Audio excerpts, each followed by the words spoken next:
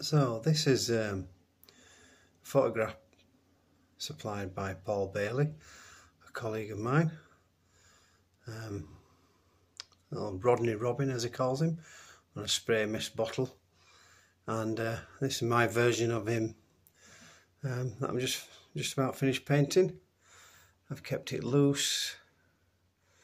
Um, a little bit of realism on the bottle, which I'm really, really happy with happy with the whole painting, of course, but yeah. So obviously I've messed with the background. Made it look a bit more sort of vegetative, garden-wise, but yeah, happy with those.